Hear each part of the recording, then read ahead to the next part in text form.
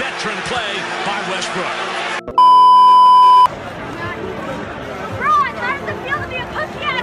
Hey, watch your mouth, woman! Watch your mouth, woman! Fans heckling. Damn! You in a huddle, ain't it? You trying to see what play next, ain't it? You finna get a touchdown, ain't it? This right here has to put some type of psychological stress on the NBA players. We've seen it with Ron Artest, Detroit Pistons, uh, and Ben Wallace in a brawl that actually got into the stands. The fans and the players were fighting. It was chaotic. Traveling. These people travel a lot.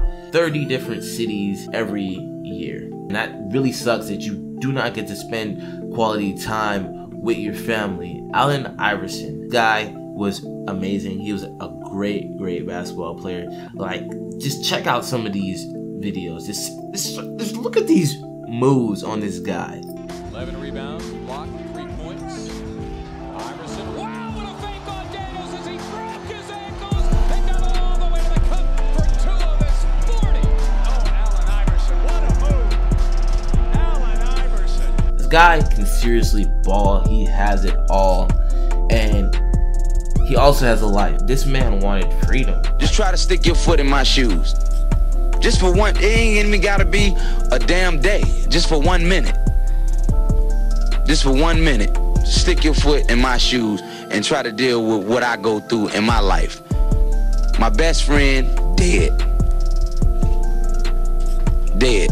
And we lost. High expectations. When NBA players try to meet this high expectation, you can go out your way. Sometimes you practice, practice, practice, practice, and then you have an injury that comes along to you, like Derrick Rose. Let's just go back to the old Derrick Rose for a quick second.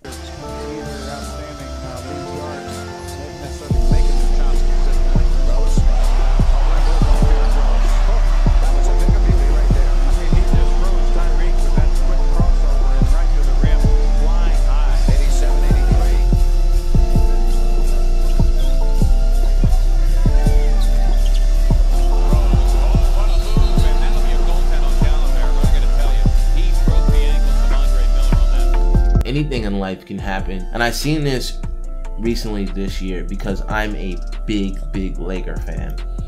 And I'm a big fan of Lonzo Ball and BBB, BBB, Big Ballers brand. I'm, I'll admit it. Actually, I'm not a big fan of them. I just support them. Lonzo, he was trying to get his groove back in, and his brother was overseas. He gets locked up in prison overseas, man. You're in a different country. They play by different rules over there. You never know. He has to worry about his brother and his life all while worrying about his career. I wanted to show you guys some of the, the ugliness in success. And it's just starting with noticing why it might suck to be an NBA player. It's been your boy Tafari. I think I said Fari earlier. I'm switching it, man.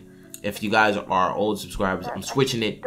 This Tafari, man. It's my name. You guys have a good day and enjoy. Have a good one. Bye. Peace.